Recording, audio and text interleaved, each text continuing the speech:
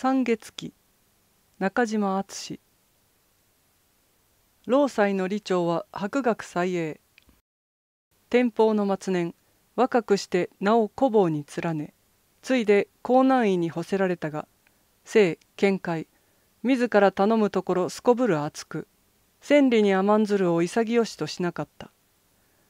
幾幕もなく官を退いた後は古山閣略に気がし人と交わりを断ってひたすら試作にふけった。狩りとなって長く膝を俗悪な体感の前に屈するよりは歯科としての名を死後100年に残そうとしたのである。しかし文明は容易に上がらず生活は日を追うて苦しくなる。李長はようやく焦燥に駆られてきた。この頃からその要望も小国となり肉落ち骨ひいで。眼光のみいたずらに経験として。かつて紳士に東大した頃の豊教の美少年の面影はどこに求めようもない。数年の後貧窮に絶えず妻子の移植のためについに節を屈して再び東へ赴き一地方管理の職を報ずることになった。一方これは己の修行に半ば絶望したためでもある。かつての同輩はすでにはるか好意に進み彼が昔鈍物として滋賀にもかけなかったその連中の仮面を拝さねばならぬことが往年の春祭李長の自尊心をいかに傷つけたかは想像に難くない。彼は往々として楽しまず教敗のせいはいよいよ抑えがたくなった。一年の後紅葉で旅に出女水のほとりに宿った時ついに発狂した。ある夜半急に顔色を変えて寝床から起き上がると何か訳のわからぬことを叫びつつそのまま下に飛び降りて闇の中へ駆け出した。彼は二度と戻ってこなかった。付近の山野を捜索しても何の手がかりもない。その後李長がどうなったかを知る者は誰もなかった。翌年観察御師陳軍の円さんという者直命を報じて霊南に仕えし道に将王の地に宿った。次の朝まだ暗いうちに出発しようとしたところ駅里が言うことにこれから先の道に人食い虎が出るゆえ旅人は白昼でなければ通れない。今はまだ朝が早いから今少し待たれたがよろしいでしょうと。円山はしかし友回りの多勢なのを頼み駅里の言葉を退けて出発した。残月の光を頼りに林中の草地を通って行った時果たして一匹の猛虎が草むらの中から踊り出た。虎はあわや円山に踊りかかるかと見えたがたちまち身を翻して元の草むらに隠れた。草むらの中から人間の声で「危ないところだった」と繰り返しつぶやくのが聞こえた。その声に円山は聞き覚えがあった。恐怖の中にも彼はとっさに思い当たって叫んだ。その声は我が友李長氏ではないか。円さんは李長と同年に紳士の代に上り友人の少なかった李長にとっては最も親しい友であった。温和な円さんの性格が俊少な李長の正常と衝突しなかったためであろう。草むらの中からはしばらく返事がなかった。忍びなきかと思われるかすかな声が時々漏れるばかりである。ややあって低い声が答えた。いかにも自分は労災の理長であると。円さんは恐怖を忘れ馬から降りて草むらに近づき懐かしげに休活を除した。そしてなぜ草むらから出てこないのかと問うた。李長の声が答えて言う。自分は今や衣類の身となっているどうしておめおめと友の前に浅ましい姿をさらせようかかつまた自分が姿を現せば必ず君に畏怖犬猿の情を起こさせるに決まっているからだ。しかし今図らずも友に会うことを得て忌憚の念をも忘れるほどに懐かしい。どうかほんのしばらくでいいから我が醜悪な今の外形をいとわずかつて君の友李長であったこの自分と話を交わしてくれないだろうか。後で考えれば不思議だったがその時円さんはこの超自然の怪異を実に素直に受け入れて少しも怪しもうとしなかった。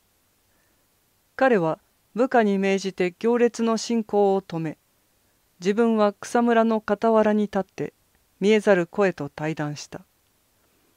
都の噂旧友の消息円さんが現在の地位それに対する李長の祝辞。青年時代に親しかった者同士のあの隔てのない誤調でそれらが語られた後円さんは李長がどうして今の身となるに至ったかを尋ねた。総中の声は次のように語った。今から一年ほど前自分が旅に出て女水のほとりに泊まった夜のこと。一睡してからふと目を覚ますと戸外で誰かが我が名を呼んでいる。声に応じて外へ出てみると声は闇の中からしきりに自分を招く。覚えず自分は声を覆って走り出した。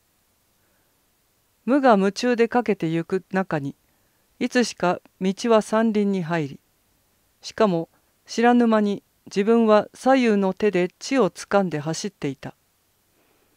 何か体中に力が満ち満ちたような感じで軽々と岩石を飛び越えていった。気がつくと手先や肘のあたりに毛を生じているらしい。少し明るくなってから谷川に臨んで姿を映してみるとすでに虎となっていた。自分は初め目を信じなかった。次にこれは夢に違いないと考えた。夢の中でこれは夢だぞと知っているような夢を自分はそれまでに見たことがあったから。どうしても夢でないと悟らねばならなかった時自分は呆然とした。そうして恐れた。全くどんなことでも起こりうるのだと思うて深く恐れた。しかしなぜこんなことになったのだろう。わからぬ。全く何事も我々にはわからぬ。理由もわからずに押し付けられたものをおとなしく受け取って理由もわからずに生きてゆくのが我々生き物の定めだ。自分はすぐに死を思うた。しかしその時目の前を一匹のウサギが駆けすぎるのを見た途端に自分の中の人間はたちまち姿を消した。再び自分の中の人間が目を覚ました時自分の口はウサギの血にまみれ辺りにはウサギの毛が散らばっていた。これが虎としての最初の経験であった。それ以来今までにどんな所業をし続けてきたかそれは到底語るに忍びない。ただ一日の中に必ず数時間は人間の心が帰ってくる。そういう時にはかつての日と同じく人語も操れれば複雑な思考にも耐えうるし継承の正句をそらんずることもできる。その人間の心で虎としての己の残虐な行いの後を見己の運命を振り返る時が最も情けなく恐ろしく憤しい。しかしその人間に帰る数時間も日を経るに従って次第に短くなってゆく。今まではどうして虎などになったかと怪しんでいたのにこの間ひょいと気がついてみたら俺はどうして以前人間だったのかと考えていた。これは恐ろしいことだ。今少し経てば、俺の中の人間の心は獣としての習慣の中にすっかり埋もれて消えてしまうだろう。ちょうど古い宮殿の礎が次第に土砂に埋没するように。そうすればしまいに俺は自分の過去を忘れ果て一匹の虎として狂い回り今日のように道で君と出会っても友と認めることなく君を先食ろうて何の悔いも感じないだろう。一体獣でも人間でも元は何か他のものだったんだろう。初めはそれを覚えているが次第に忘れてしまい初めから今の形のものだったと思い込んでいるのではないか。いやそんなことはどうでもいい俺の中の人間の心がすっかり消えてしまえばおそらくその方が俺は幸せになれるだろう。なのに俺の中の人間はそのことをこの上なく恐ろしく感じているのだ。ああ全くどんなに恐ろしく悲しく切なく思っているだろう。俺が人間だった記憶のなくなることを。この気持ちは誰にもわからない。誰にもわからない。俺と同じ身の上になったものでなければ。ところでそうだ。俺がすっかり人間でなくなってしまう前に一つ頼んでおきたいことがある。円さんはじめ一行は息を飲んで早中の声の語る不思議に聞き入っていた。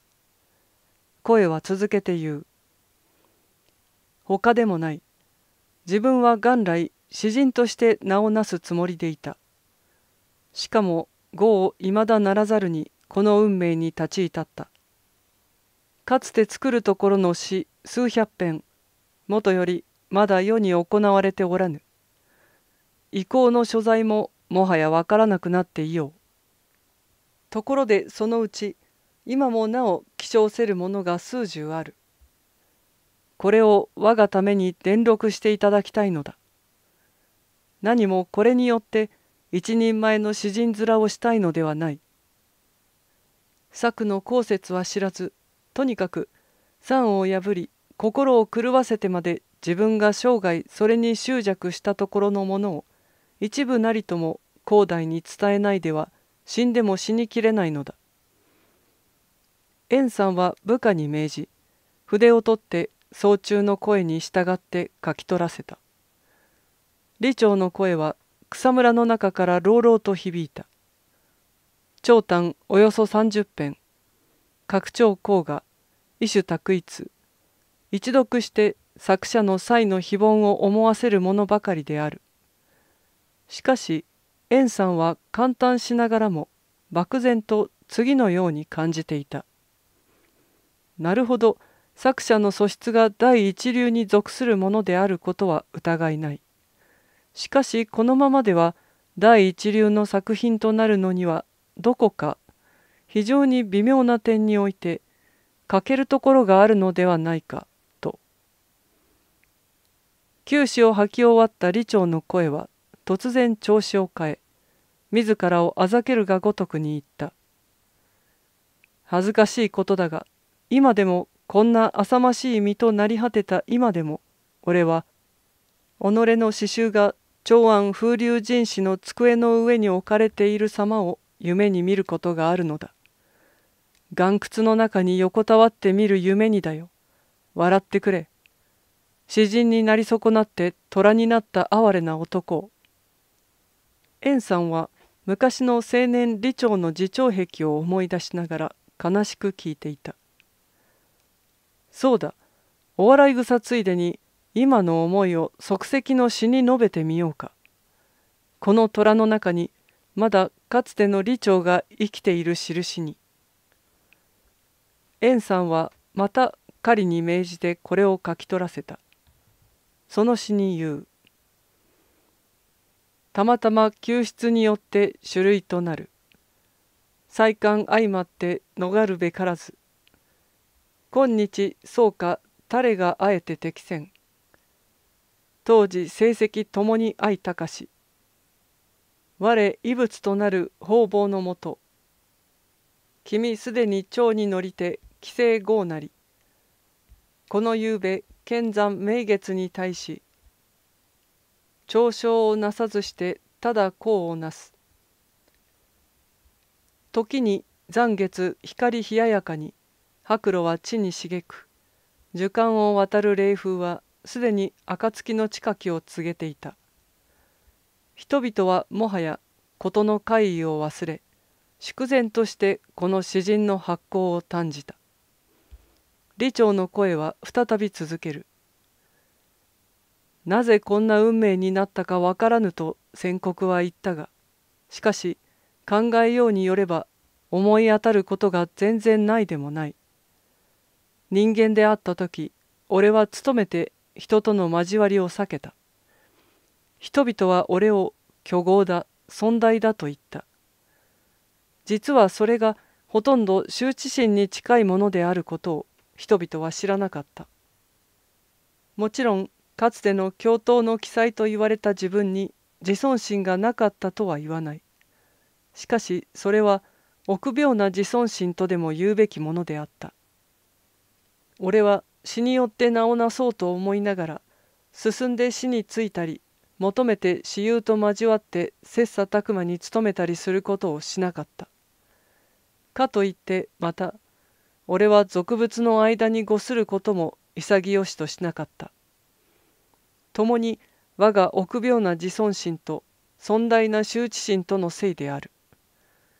己の玉にあらざることを恐れるがゆえにあえてコックして磨こうともせずまた己の玉なるべきを半ば信ずるがゆえにろくろくとして河原にごすることもできなかった。俺は次第に世と離れ人と遠ざかり憤懣と残意とによってますます己の内なる臆病な自尊心を回太らせる結果になった。人間は誰でも猛獣使いでありその猛獣にあたるのが各人の正常だという。俺の場合この尊大な羞恥心が猛獣だった。虎だったのだ。これが俺を損ない。妻子を苦しめ。友人を傷つけ。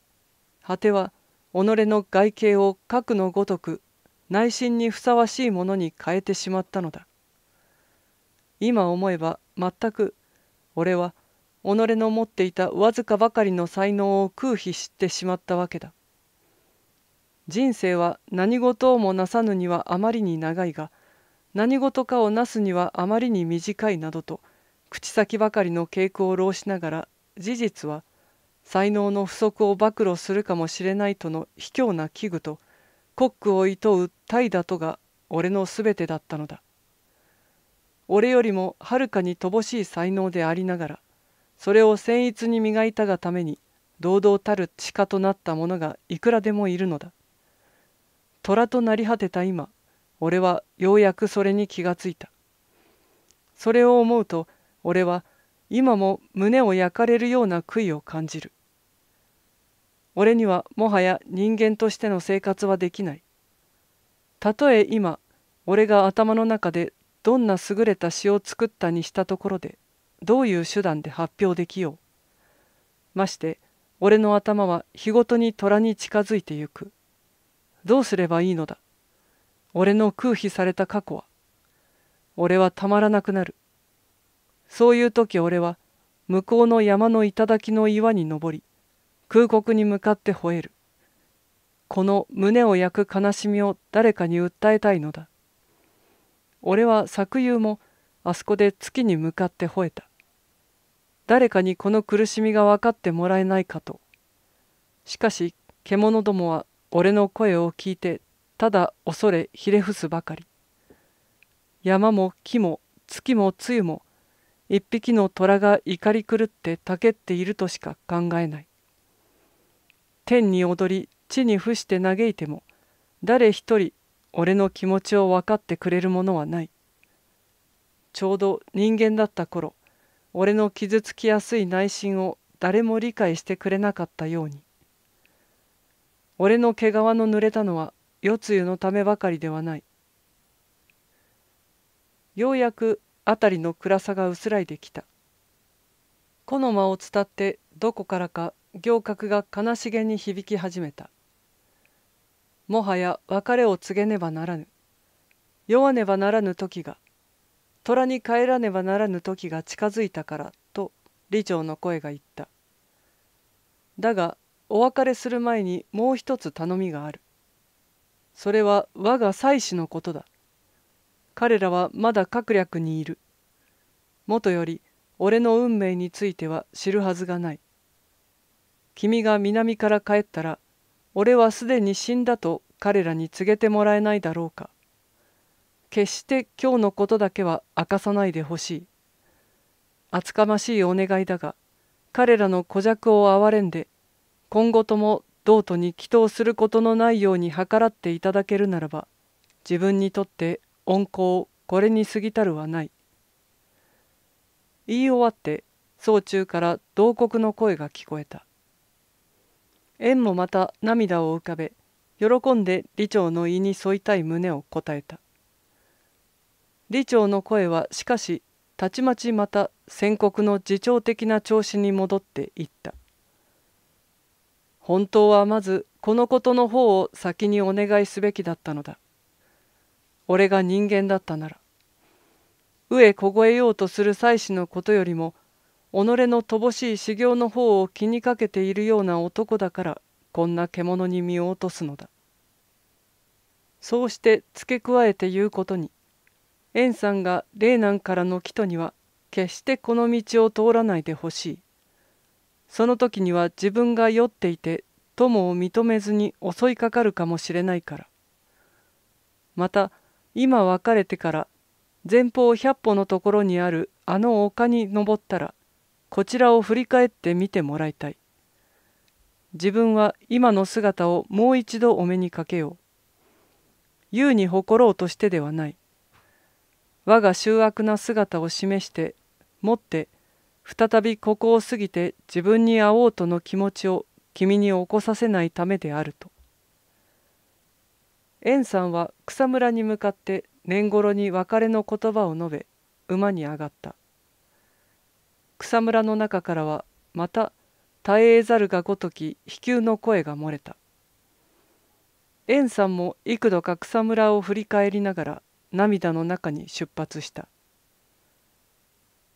一行が丘の上に着いた時彼らは言われた通りに振り返って先ほどの林間の草地を眺めた。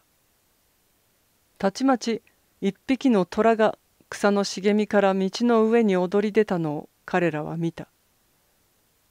虎はすでに白く光を失った月を仰いで二声三声奉公したかと思うとまた元の草むらに踊り入って再びその姿を見なかった。